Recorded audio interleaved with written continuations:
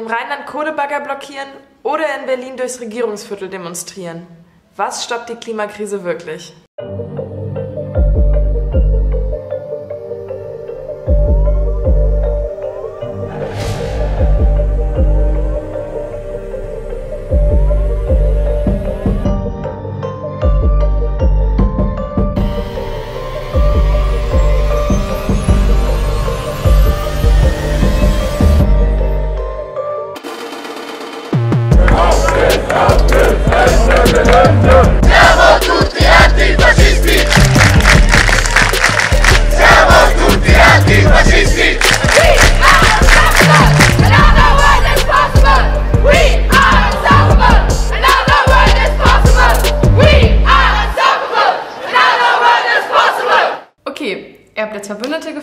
Hattet hoffentlich ein richtig nices erstes Treffen und seid jetzt irgendwie eine kleine Gruppe, die Bock hat, was zu starten. Und jetzt? Um die Welt zu verändern, braucht ihr Öffentlichkeit, müsst ihr Leute von eurer Meinung überzeugen. Und das könnt ihr durch verschiedene Aktionen. Die Liste an Aktionen ist endlos lang. Ihr könnt Sticker verkleben, ihr könnt Plakate mit eurer Meinung drauf überall im Ort verkleben, ihr könnt Demos organisieren, Kundgebung organisieren, Sitzstreiks organisieren, Bäume besetzen. Die Frage ist, wann wählt man welche Aktionsform, um was zu erreichen? Ah, vergessen. Je nach Aktion, das Wichtigste dabei ist, es gibt jetzt nicht per se eine gute und eine schlechte Aktionsform. Außer Nazi-Aktionen vielleicht, die sind immer scheiße. Very true. Also genau, außer ihr seid Nazi, gibt es keine guten und keine schlechten Aktionen, sondern es gibt nur Aktionen, die besser oder schlechter zu euren Zielen passen. Und je nachdem, was ihr erreichen wollt, so müsst ihr eure Aktionsform wählen. Und dann ist je nach Aktionsform unterschiedlich, welche Leute ihr damit ansprecht, wie ihr euch vorbereiten müsst und all das. Und da haben wir für euch zwei richtige Klassiker der Klimagerechtigkeitsbewegung mitgebracht. Zwei Sachen, wo wir beide auch beteiligt waren und in der Vorbereitung uns ganz viele Gedanken gemacht haben. Und wir haben beide auch das jeweils andere schon ausprobiert. Also auch hier, es ist nicht das eine besser als das andere. Sie sind nur unterschiedlich von den Zielen her. Und zwar geht es um Global Strike. und Ende Gelände.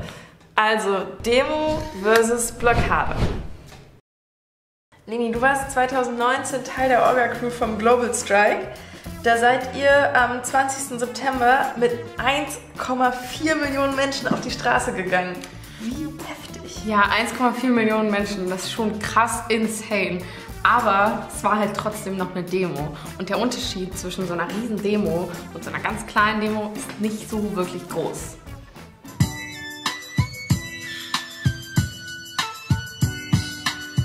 Das heißt, kleine Demo, große Demo, Hauptsache Demo. Das finde ich voll spannend, weil du kommst ja eigentlich auch so von Fridays for Future. Und Fridays for Future hat als Aktionsform ja immer diese Schulstreiks von SchülerInnen gehabt. Warum habt ihr euch denn entschieden, von diesen Schulstreiks hin zur Demo zu gehen? Also eine Demo, die hat halt den Vorteil, man kann große Massen auf die Straße bringen. Es ist völlig legal und jeder kann da irgendwie teilhaben. Und vor allen Dingen braucht man nur einen Minimalkonsens. Das heißt, wir stehen jetzt alle für Klimagerechtigkeit ein und haben aber vielleicht auch alle einen anderen Background. Völlig egal. Das heißt, es geht erstmal darum, so eine Mehrheit auf die Straße zu bringen und so einen Wumms zu machen. Ja, voll. Und was den Global Strike zum Global Strike gemacht hat, war, dass wir halt eine Demo gemacht haben und die Demo aber freitags vormittags gemacht haben, wo die Menschen irgendwie normalerweise arbeiten, in die Schule gehen und wir diesen normalen öffentlichen Betrieb gestört haben und sich dann so super viele Leute uns angeschlossen haben. Okay, aber nochmal so zusammenfassend. Eine Demo ist sinnvoll, wenn ich viele Leute auf die Straße bringen möchte, wenn ich möchte, dass ganz viele unterschiedliche Leute mitmachen können und wenn ich nach einer Aktionsform suche, die ganz legal ist. Ja, dann eignet sich auf jeden Fall am allerbesten eine Demo. Bei Ende Gelände gehen wir seit fünf Jahren jedes Jahr. Fact-check, sind es seit fünf Jahren? Ja. Okay. Seit fünf Jahren sind wir mit wahnsinnig vielen Leuten zusammen in die Kohlegrube im Rheinland reingegangen, also direkt an den Ort der Zerstörung, direkt dahin, wo das meiste CO2 in Deutschland produziert wird. Das war auf jeden Fall eine krasse Erfahrung.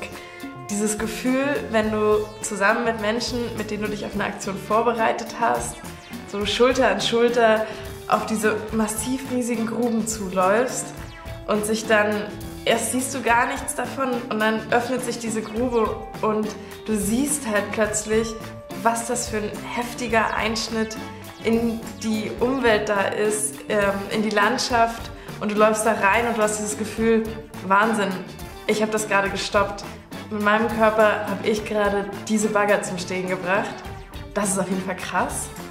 Niemand stoppt die Bagger, die gestoppt werden müssen. Deswegen machen wir es. Und deswegen haben wir uns für eine Blockade entschieden. Also, Blockade, man greift direkt ins Geschehen an den Orten der Zerstörung ein. Dringlichkeit von der Klimakrise wird aufgezeigt, aber ist nur so halblegal. Ja, aber dafür legitim.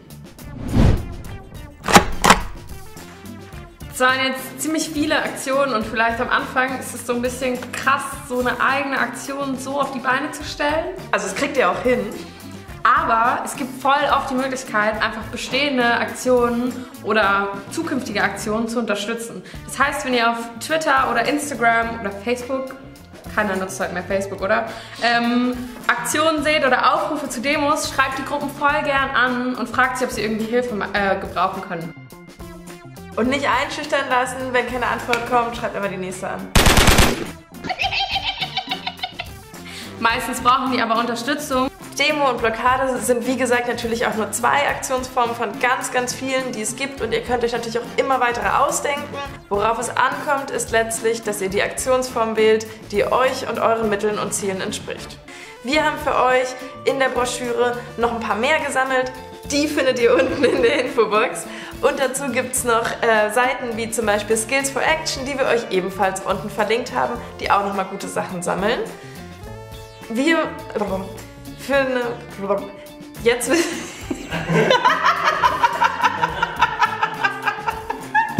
okay. Willst du weitermachen mit? Jetzt wisst ihr, was ihr machen wollt und jetzt machen wir nächstes Mal, wie ihr es machen wollt. Ich kann es gerne machen. Darf ich einfach da einsteigen oder sollen wir nochmal von vorne anfangen? Stellt euch am Anfang also einfach immer die Frage, was wollen wir erreichen und vielleicht was haben wir auch für Mittel, um überhaupt was umzusetzen. Und ansonsten werden wir uns beim nächsten Mal auch noch damit auseinandersetzen, wie sowas geplant wird. Da gibt es eine Methode, den Tactic Star. Den werden wir im nächsten Video behandeln. Bis dahin, stay tuned.